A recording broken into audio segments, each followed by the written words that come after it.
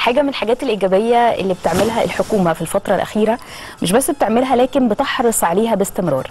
اسمحوا لي إيه، أنا شايفة من وجهة نظري المتواضعة إنها من الأمور الكويسة جدا جدا جدا. ليه؟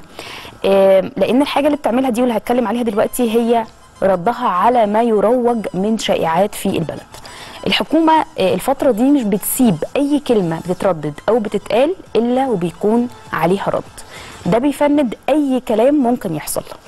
طيب هتقولوا لي ليه؟ لأن عايزين نعرف حاجة إن الشائعات اللي بتطلق من فترة للتانية دي بيكون هدفها إيه؟ هدفها إثارة وبلبلة في الدولة. كتير من حضراتكم ممكن يقول لي طيب وليه الحكومة أصلا ترد على الشائعات دي؟ ممكن تتجاهلها تسيبها كده كده ومش هيحصل حاجة.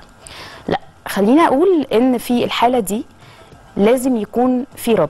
والرد ما يكونش مجرد كلام مرسل لكن يكون آه، موثق بأدلة وبراهين مش بقول كلام وخلاص.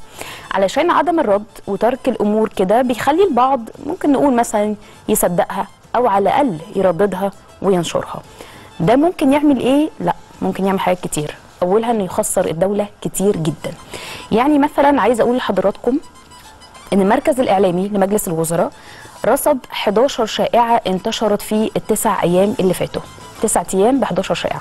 منها حاجات كانت خطيرة جدا جدا زي مثلا ترديد أنباء عن تخفيض وزارة المالية لمخصصات الصحة والتعليم في الموازنة العامة للدولة 2019 2020 بعد اعتمادها رسميا.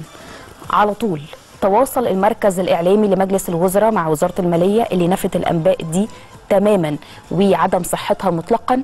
وكلنا شايفين في الفترة الحالية قد إيه الدولة أصلا مهتمة بالصحة والتعليم فهل يبقى معقول إنها وهي مهتمة بالصحة والتعليم تخفض مخصصاتها في الموازنة؟ كلام غير منطقي بالمرة